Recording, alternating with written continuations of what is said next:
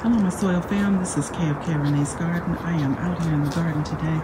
I have some maintenance that I have to do. You see my little push mower over there, so I gotta start cutting this grass, you guys. Um, I usually fertilize my plants every other week, so I do have my fertilizer in there sitting. I'm using the yeast and sugar fertilizer again. I use it every couple of weeks. And so, um, and then I want to share with you some of the things that are going on in the garden right now that are actually doing really, really well. So anyway, I want to get the most bang for my buck, so I try to uh, use that yeast fertilizer, and then I'm just kind of experimenting to see if that's giving my plants the boost that it needs throughout the growing season, or just leave them alone and do what I've been doing before I started using the yeast and fertilizer. So anyway, guys, I'm going to go ahead and start cutting this grass before it gets hot. As you can see, it is overcast. I don't know if you can see that. So it's kind of cloudy up there. And so um, I'm gonna go ahead and get this done. So I'm gonna go ahead and put my hair up, put this hat on, and get this grass cut.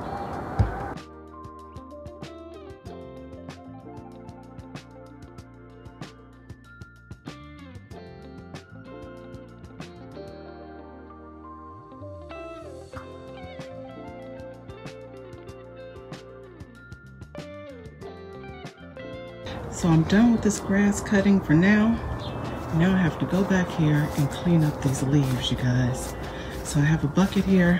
I'm just gonna rake them and put them in a bucket. Don't throw those leaves away because you can compost with those or you can mulch with those. Anyway, you guys, stay tuned.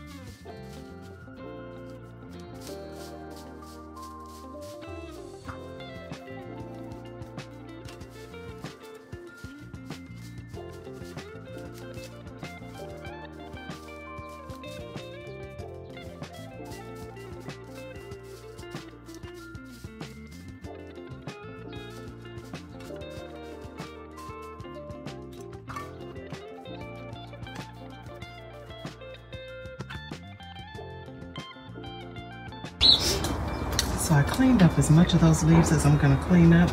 I put them in a bucket. I'm gonna put them in my compost bin or mulch with those. I have my fertilizer here. See how it looks, it's on foamy. So I have my bucket of water over here. I'm gonna go ahead and add this to my bucket of water. This is the yeast and sugar fertilizer. There's my bucket there. And have something to start with as well. So I'm gonna go ahead and get that done and I'm gonna start fertilizing these plants. So of course the sun started coming out on me, but at least these plants in here are shaded.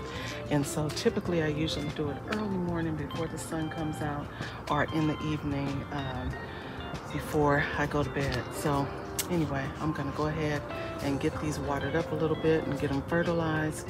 And uh, we're gonna see how they do.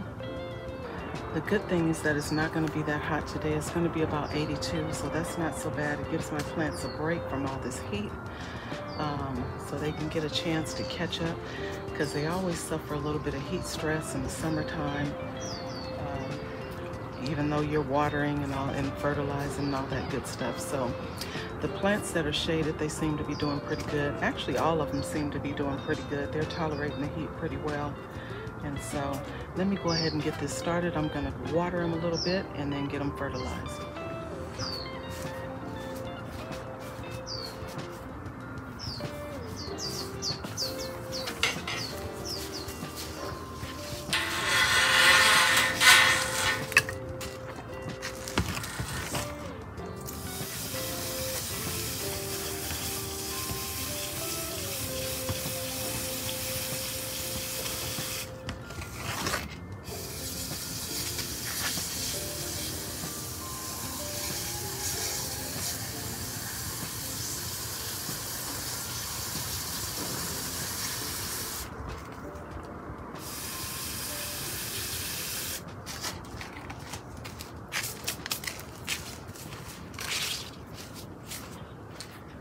Good thing is I'm only doing my flowering plants. So I'm doing the eggplants, I'm doing the peppers, and I'm doing the tomatoes. So, oh, and okra. okra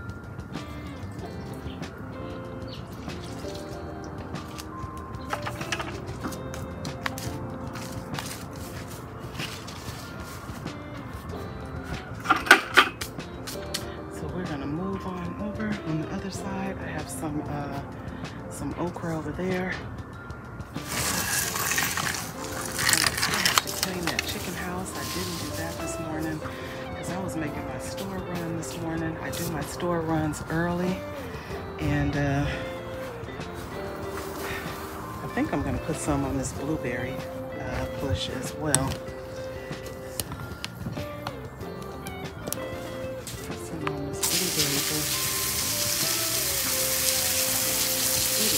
so beautifully and I want it to continue for as long as possible.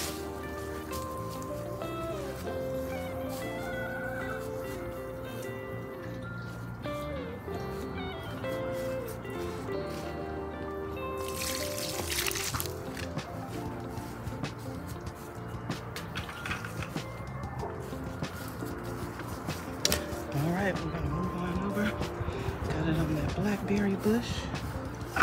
I'm gonna hit these peppers and this okra over here.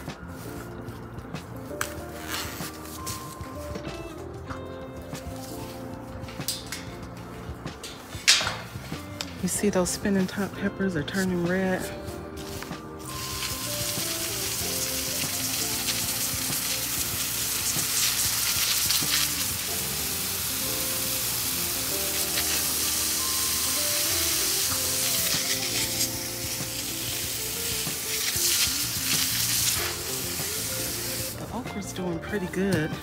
Actually have a piece on, or a couple of pieces of okra on there. Let's see if you guys, can you guys see that? You see that okra over there? So I am excited about that. I did pull one off yesterday. Sorry for bouncing you guys around. This tripod here is so wide at the bottom.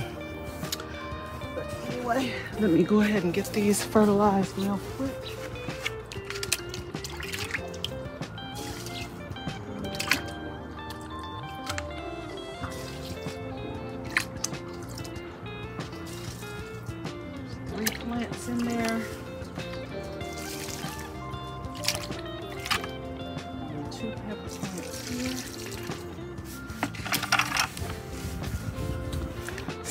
Are done. Then we're gonna move on down to these tomatoes.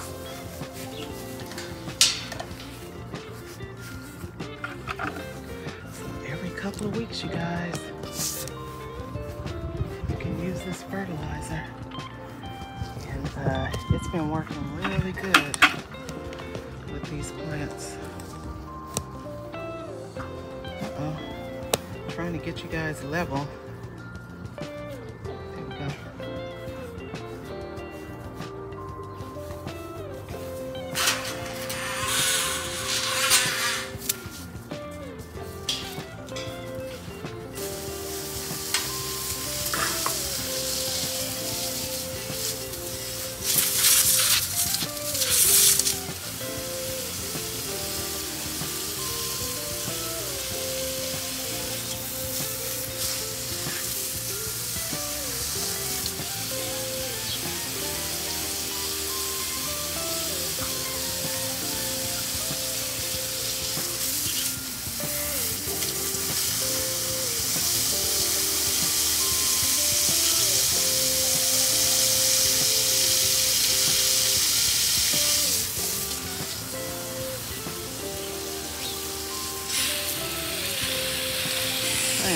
Happy with the way this tomato plant is looking since I moved it. Because it was about to get pulled and tossed.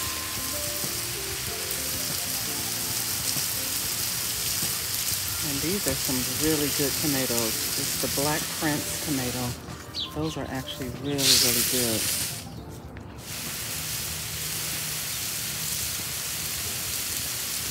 Giving these carrots a little bit more uh, water.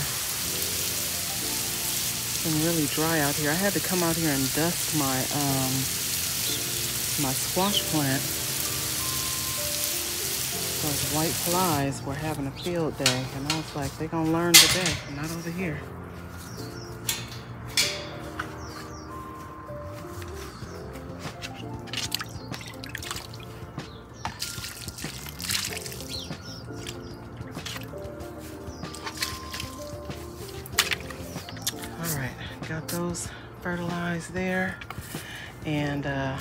Oh, I have one back here. This little baby Bubba over here. So that's in that container. I'm gonna get that one as well.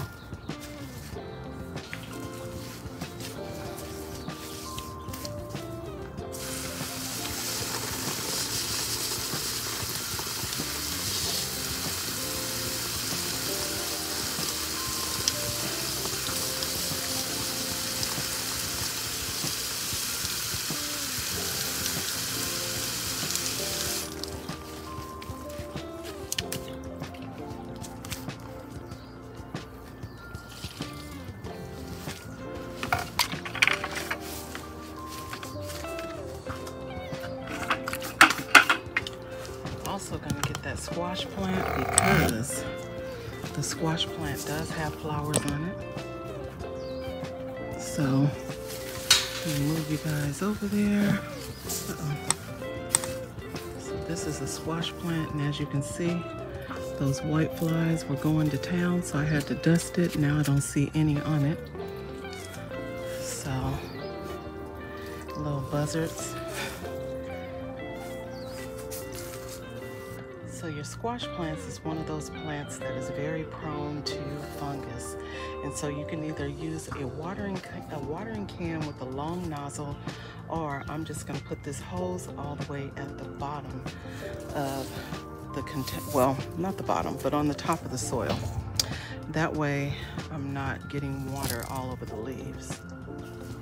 I'm not even gonna turn it on until I put it all the way to the base there. And then I'm putting it on a light spray. That way I don't get water all over the leaves. And before I lift it up out of that container, I'm gonna turn that nozzle off.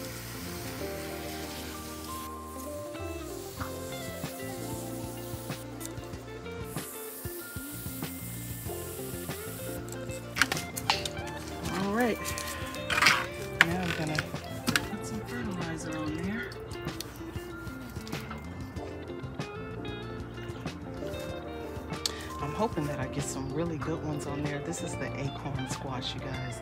My first time growing the acorn squash, so I'm excited about those. I hope that they are plentiful and delicious. All right, fam, so we are moving on over to the tomatoes.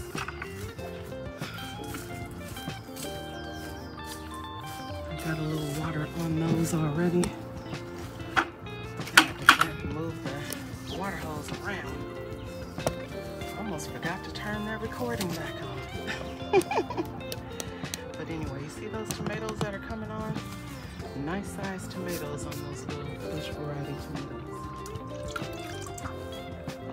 Awesome, variety. All right, so I got that one here. And uh, I have a cup of, another little tomato over here. And then I have the peppers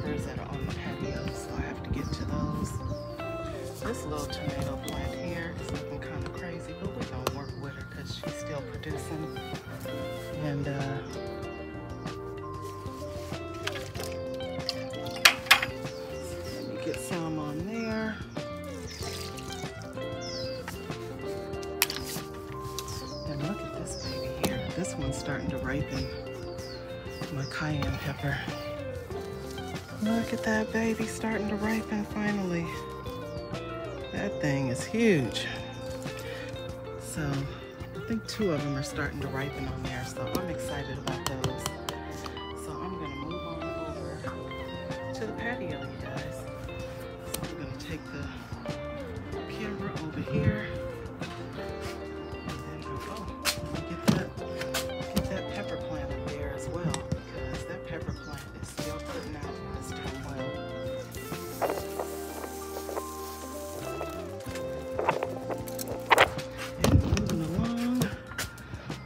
Rosella tomato up here.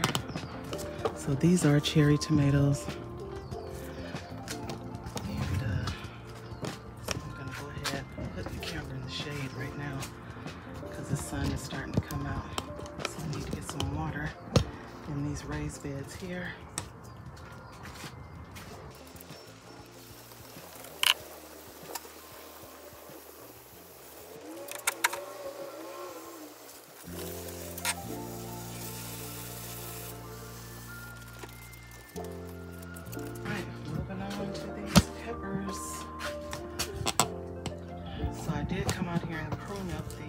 Cuban oregano. So as you can see, it's not looking like a monster as much. And uh, I still have these pepper plants. So now that I moved that out the way, I see a few flowers coming on there. And I told you guys I had to spray it because it was being eaten up. And uh, the other one over on this side as well was being eaten. So let me get those watered and fertilized.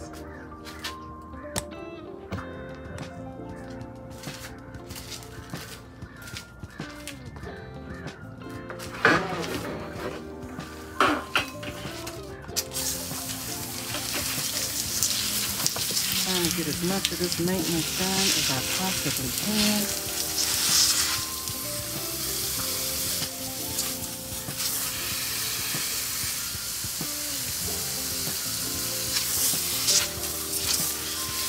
I won't have to do any of this stuff over the weekend.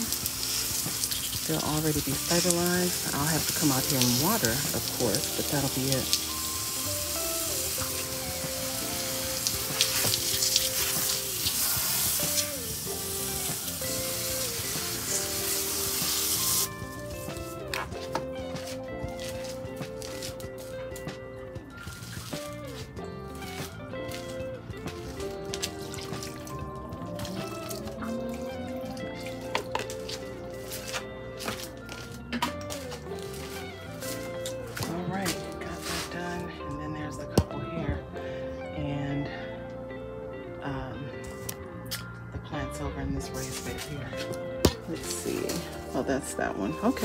One is starting to get more foliage on it because I was getting ready to pull that one as well. Um, I still may because it's not really anything going on with it. So I will fertilize this one though.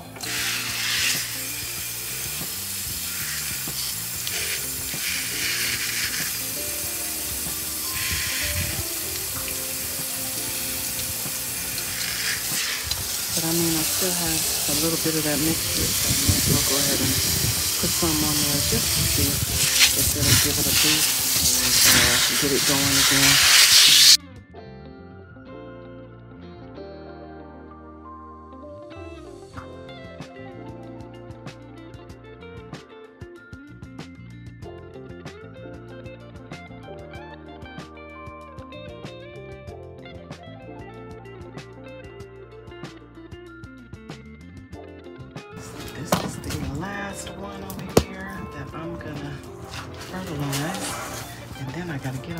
Clean that chicken house up.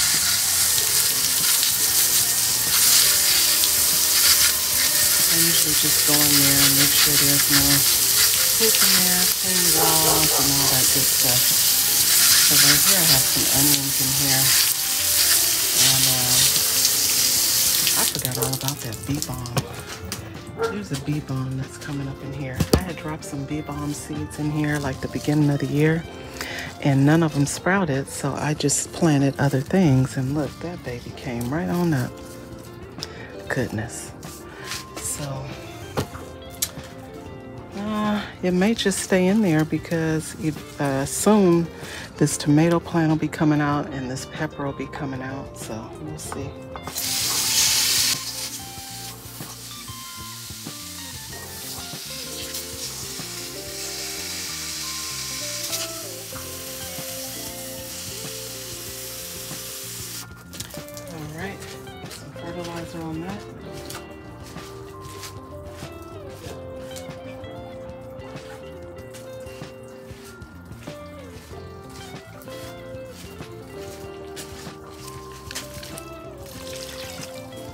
And remember, if you have any of the mixture left, just put it in the refrigerator.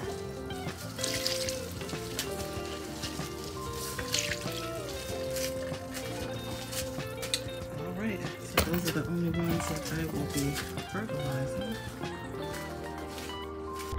All right, fam, so I got everything watered up and uh, fertilized. Got my grass trimmed, but look at this celery. So I just moved these over from one city picker to the other. Um, and look, more foliage is coming on.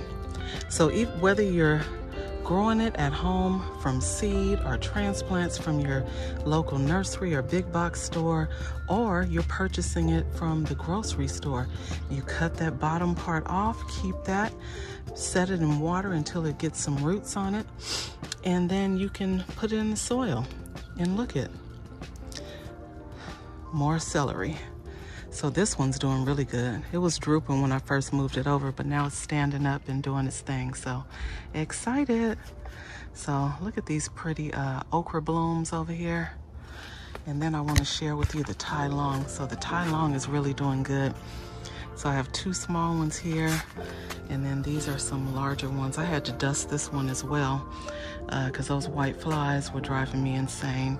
There's another one coming in here, and there's a ton more flowers on here. You see all these flowers on here? So this joker here does the most, you guys. So if you plan on ever growing the Thai Long, for me, it's gonna be a yes. You see some little ones over on that side as well.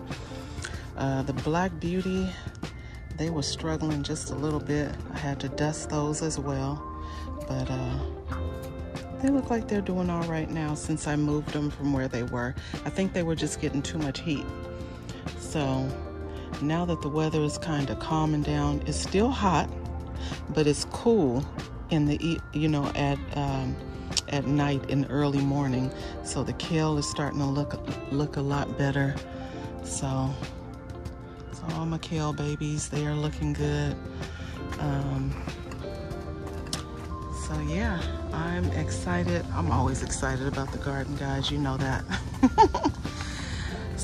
so as you guys can see, this house is nasty. This is just overnight, you guys, because I come in here and clean this every morning. So I'm gonna get my vinegar water and I'm gonna get my little scooper there, clean all this stuff up and get all my little dusting done. You see all this dust over here? There go Miss Nosy Pants. She gotta see what I'm doing. So I'm gonna get that all cleaned up as well. And then I'm gonna be done out here, you guys. They are upset with me because I'm in their space. I gotta get this cleaned up. So they're gonna have to wait a minute.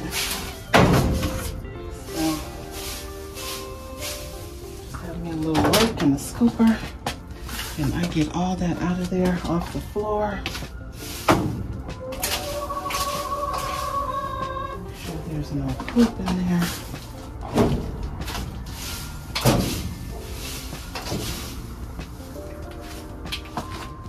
I do not want flies flying around their house.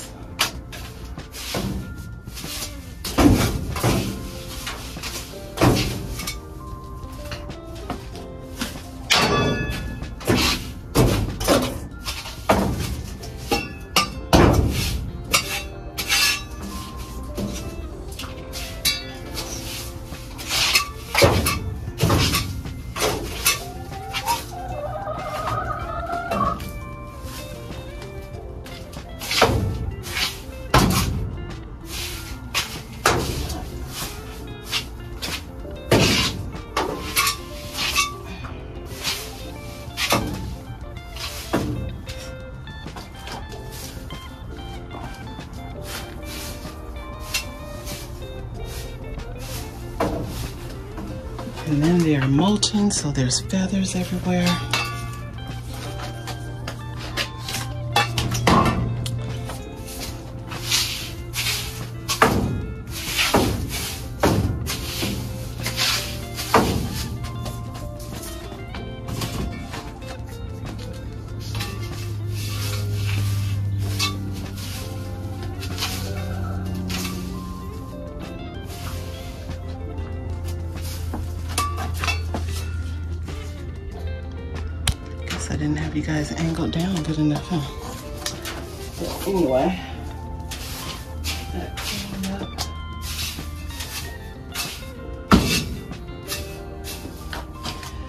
Trying to get all the feathers out of there, all the poop out of there, off the floor. I have my vinegar water.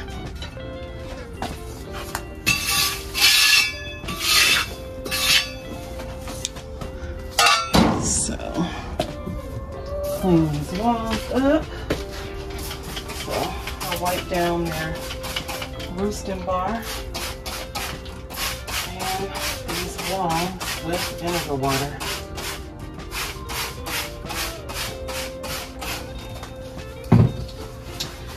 That's my one of my morning chicken chores.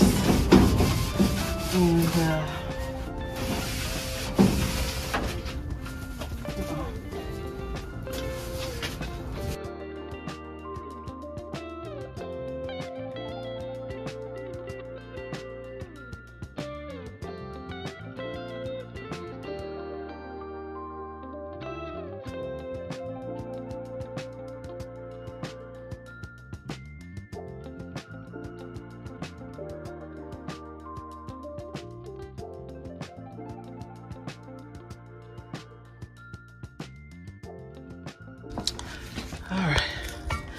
It's not a perfect job, but it's tolerable.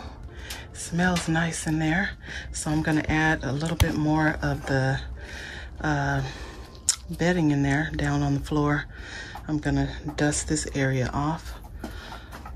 Um, and then I'm gonna close it up so they can get in there and do their laying. Make sure you're always using gloves when you're cleaning your chicken houses.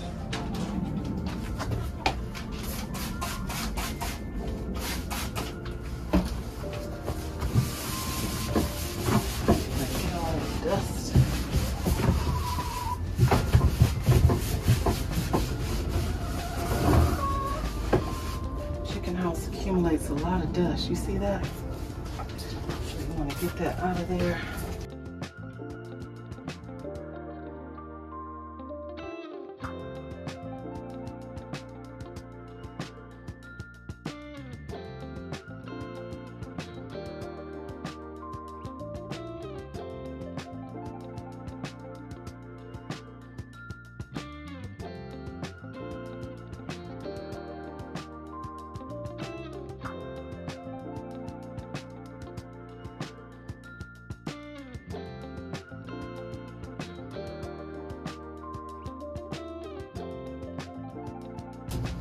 I'm just getting some of that dust out of here now. There's tons.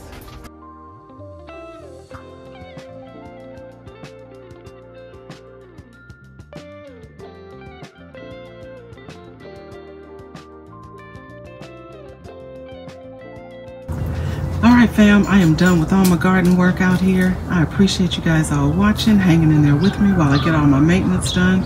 Thank you so very much, and I will see you all next time in the garden.